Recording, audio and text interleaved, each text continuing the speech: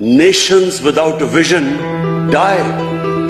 قوم کا جب اپنا مقصد اپنے نظریے سے پیچھے ہٹتی ہے مر جاتی ہے قوم اللہ کہتا ہے کہ میں تمہارے ایمان کو بار بار ازماؤں گا اللہ قرآن شریف میں ہمیں کہتا ہے وہ کیوں کہتا ہے وہ آپ کے ایمان کو ازماتا ہے مضبوط کرنے کے لیے جب آپ ایک مشکل وقت سے نکلتے ہیں آپ اور مضبوط ہو جاتے ہیں۔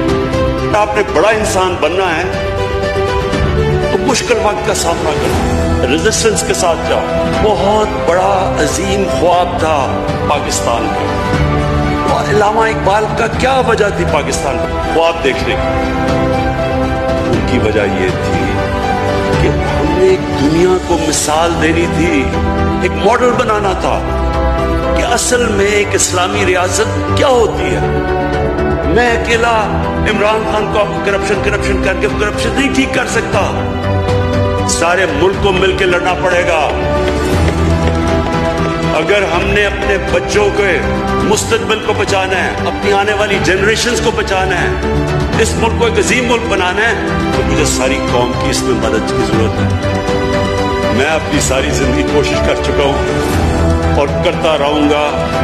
میں تو اپنی پارٹی کو یہ بھی کہا تھا کہ اگر میری پارٹی ساری بھی چھوڑ دے، میں اکیلا بھی ان کے خلاف لڑتا رہوں گا۔ اسپیکر صاحب، آخری گیند تک لڑنے والا کیپٹن تھا، آخری گیند تک لڑوں گا، میں ہار مانوں گا نہیں۔